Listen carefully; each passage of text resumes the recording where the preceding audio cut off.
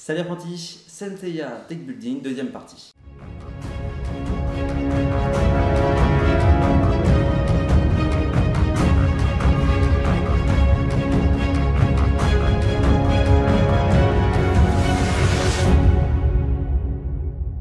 On se retrouve pour la deuxième partie des règles du jeu Senseiya Deck Building.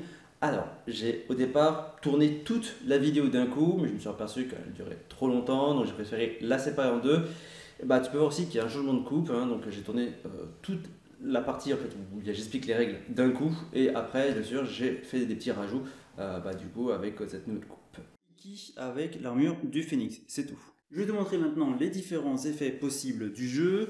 Donc, il y a arrivé. Donc, tu vois, c'est un fond noir, ça veut dire que ça se passe sur la rivière et donc avec l'écriture en bleu. C'est quelque chose donc qui va arriver dès qu'il arrive. Tu as également mise en jeu qui est en bleu. Là, il faut retirer une flamme de l'horloge. Donc en fait, si il est pioché et qu'il arrive sur la rivière à n'importe quel endroit, il faut retirer une flamme de l'horloge. Il y a également l'effet blessé. Donc en fait, en décidant de blesser Ptolemy de la flèche, donc quand je l'ai moi dans mes cartes, dans ma main, je décide de le blesser, du coup je peux activer donc son effet, c'est chaque adversaire mélange une carte Athéna de sa main dans la réserve. Nachilulu, défaussé. Donc ça c'est-à-dire qu'en je l'ai dans la main, je l'envoie dans ma défausse et du coup ça fait que chaque adversaire défausse son armure en jeu. Donc quand il y a l'armure qui est placée sur le terrain, sur son terrain à soi, pas sur le terrain du milieu, donc chacun des adversaires va défausser son armure. Donc ça peut être assez sympa du coup, de euh, faire en sorte que les armures qui sont en jeu, ben, en fait, euh, vont dans la défausse. Shiva du Pan. Donc un fond noir, ça veut dire que quand il est sur la rivière encore une fois, en rouge et c'est vaincu. Donc vaincu, c'est qu'en fait, bah, euh, tu as pu récupérer la carte, que ça soit avec de la force ou du cosmos. Donc là, c'est que de la force, bien sûr. Donc tu actives son effet en fait quand tu as, tu as réussi à l'avoir. Blesser tous les personnages utilisés pour le combattre possédant du cosmos. Nous avons par exemple Oko, qui lui, en détruisant la carte, donc en fait tu pourras plus l'utiliser après, chaque adversaire détruit un chevalier de sa main. Donc un chevalier, donc là Oko, il a rien, donc c'est pas un chevalier. Chevalier sans constellation, ça passe, chevalier de bronze, ça passe. Par contre, tu vois mon Iki du phénix, c'est juste marqué héros, ça ne passe pas. Phaeton, donc là, mise en jeu, c'est en bleu, donc c'est son, à son arrivée. Par contre, le fond, tu vois qu'il n'est pas noir, donc en fait c'est depuis ma main. Quand je le joue, directement, j'utilise sa capacité mise en jeu. Faut savoir que tu n'es pas obligé d'utiliser les capacités, sauf quand c'est vaincu. Et donc là, en fait, quand tu vas un adversaire, forcément, tu vas activer la capacité.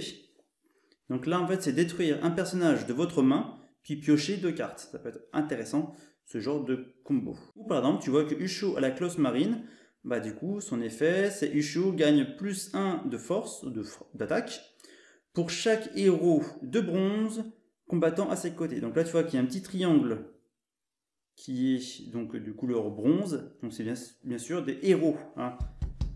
C'est pas euh, n'importe quel chevalier de bronze. Bien sûr héros chevalier de bronze. Donc là, mon Iki en armure. Il faut savoir que les effets dépendent de chaque carte. Par contre, les mêmes cartes vont forcément avoir les mêmes effets parce que tu as des cartes comme nos Iki. Euh, ils sont plusieurs exemplaires. Plus la carte est rare, plus en fait il y a qu'un seul exemplaire. Les chevaliers d'or ne sont qu'un seul et unique exemplaire. Athéna et le Pop sont en deux exemplaires. Et voilà, après tu peux voir entre 1 à 4 exemplaires par carte. Donc ça c'est mon premier tour. Tu vois que euh, là j'ai en fait j'ai 5 points d'attaque ou 5 soins.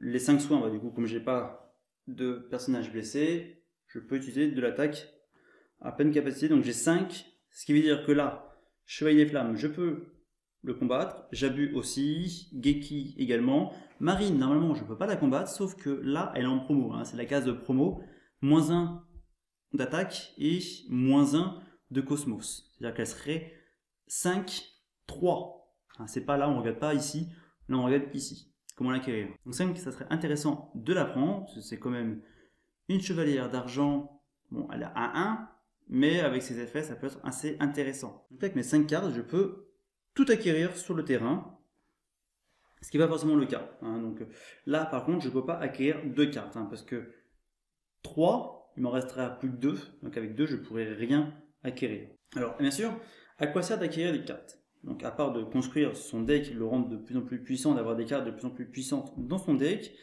Il y a également des cartes qui ont par exemple là, Jabu de licorne qui a deux points ici. Donc le numéro qui est ici, sont des points de victoire. Donc là, tu vois que Iki du Phoenix n'a aucun point de victoire, donc cette carte-là me sert un peu à rien en fin de partie. Donc les points de victoire ne servent qu'en fin de partie, où en fait tu vas faire un cumul, tout le monde fait euh, ses calculs de points de victoire, et bien sûr celui qui a le plus de points de victoire a gagné la partie. Tu vois que ici, Marine a un effet spécial, donc elle a 3 points de victoire d'assurer, plus quelque chose. Donc ici, elle gagne plus un point de victoire si on est le joueur possédant le plus de héros dans son deck.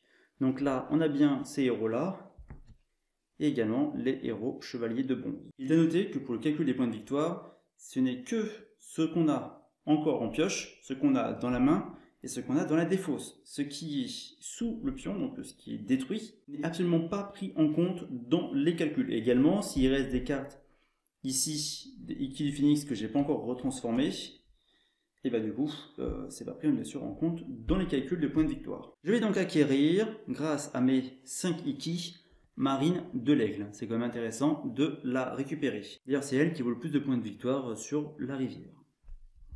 Donc, les 5 utilisés plus Marine vont aller dans ma défausse. Donc là, c'est ma défausse. Hein. Parlons donc du coup de l'acquisition via le cosmos. Alors, il s'agit en fait de soumettre ton adversaire via la puissance de ton cosmos. Les cartes utilisées pour acquérir cette carte-là, donc il faudrait 3 de cosmos en cumulé, iront bien sûr dans la défausse. Par contre, la carte que j'ai acquise, que ce soit un personnage ou une armure, viendra dans ma main, contrairement lorsque je l'acquiers via l'attaque.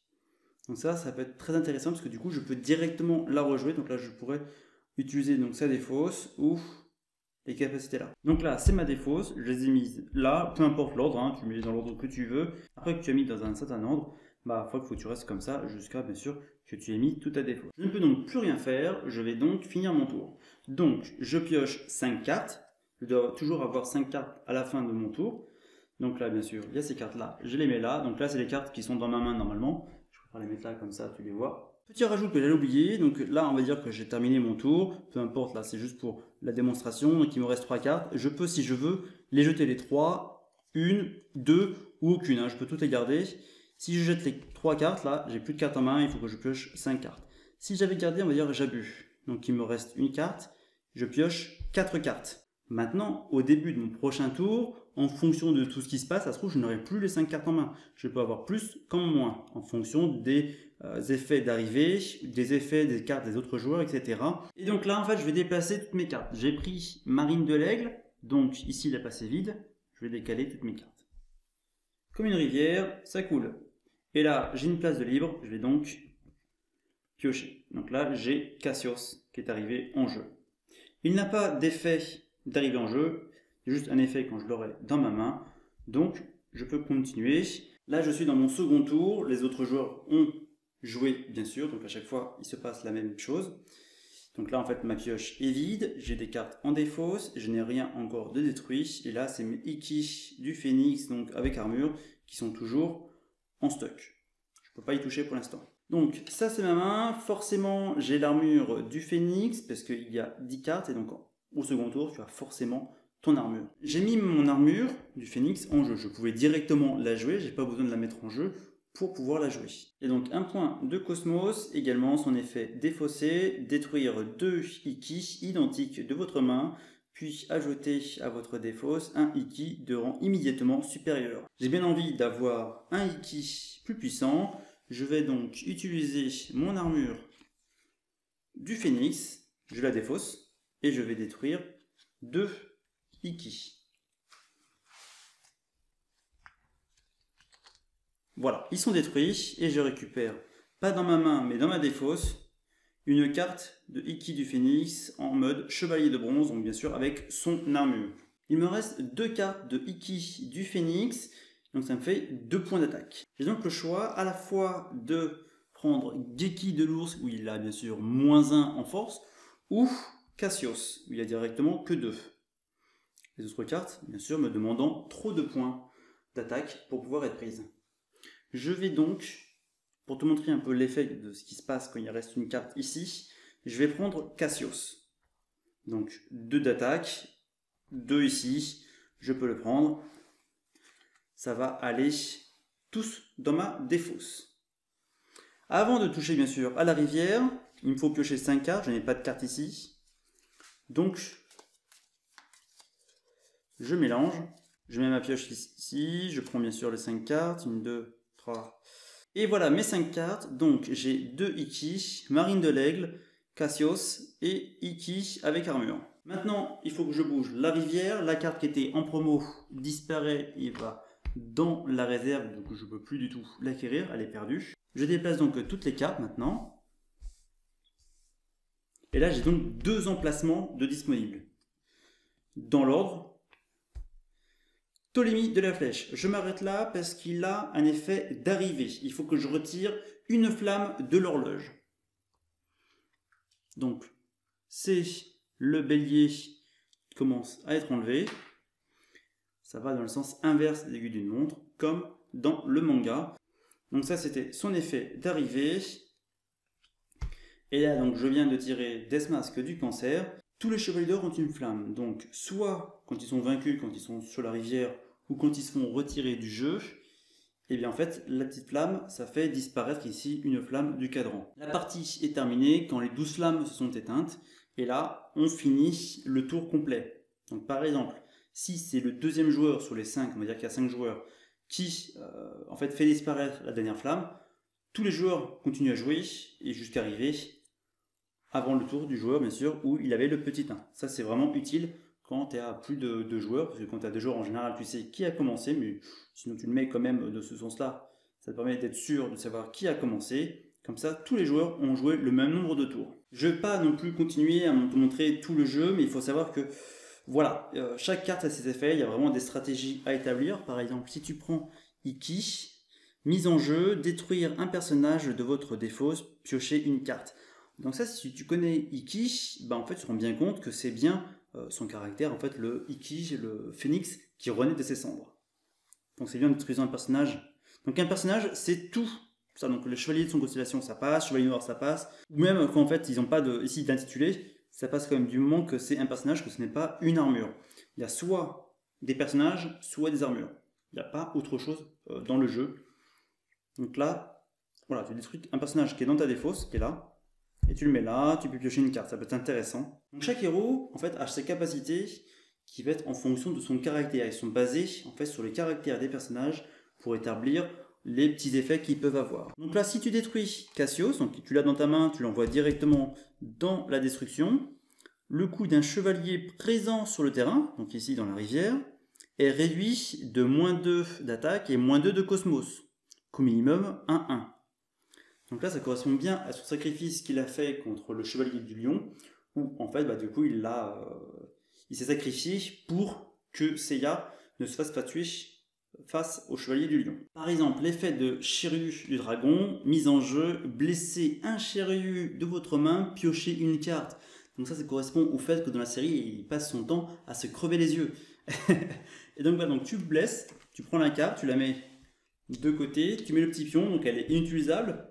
Tu vas toujours pouvoir la compter à la fin de la partie, mais elle est blessée. Elle est, tant qu'elle n'est pas soignée par une autre carte, elle ne peut pas du coup participer à la suite des combats. Il ne faut pas laisser tes personnages blessés longtemps parce que tu as des cartes, soit en arrivée ici, soit en fait des autres effets vont pouvoir détruire les cartes qui sont déjà blessées. Donc euh, ça peut faire vraiment euh, t'éliminer pas mal de cartes. Suivant ta manière de jouer, tu vas pouvoir établir des stratégies plus ou moins élaborées. Au fur et à mesure de la partie, tu vas pouvoir en fait changer même de tactique en fonction des cartes que tu arrives à acquérir, parce que le but c'est quand même d'accumuler le plus possible de points de victoire. C'est vrai que les chevaliers d'or, c'est vraiment très important de les acquérir parce qu'ils rapportent quand même beaucoup de points. Ils sont en général assez puissants comparé aux autres cartes. Si tu ne connais pas l'univers de Senseiya et que tu ne connais pas le deck building et que tu as envie d'essayer ce type de jeu, je te conseille vraiment Senseiya, les chevaliers de deck building pour te lancer dans ce type de jeu de société. C'est très sympa, c'est ouvert à tout le monde parce que tu vois, c'est 14 plus, mais tu peux même faire un peu moins. Vraiment, comme je l'ai dit, tu n'es pas du tout obligé de connaître la licence pour pouvoir apprécier ce jeu-là. Moi, je connaissais pas donc euh, le type euh, deck building. Je connaissais les jeux avec deck de type Magic, où du coup là, ces règles sont bien plus compliquées. Je trouve que Senseiya n'est pas très compliqué au niveau des règles. Si maintenant tu es fan de Senseiya ou fan des Chevaliers Zodiac, il y a une petite différence. eh bien vas-y, franchement achète ce jeu-là, la boîte est super, les matériaux sont vraiment de qualité je trouve, les illustrations sont quand même bien faites. J'espère que la présentation de ce jeu t'a plu, moi j'ai pris beaucoup de plaisir à y jouer.